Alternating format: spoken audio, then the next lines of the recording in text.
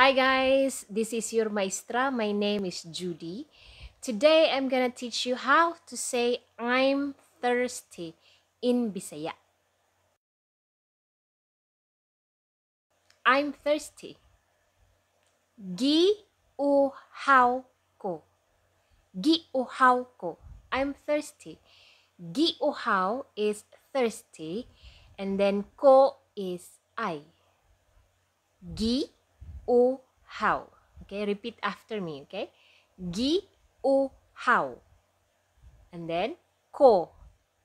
Ko. Gi uhaw ko. I'm thirsty.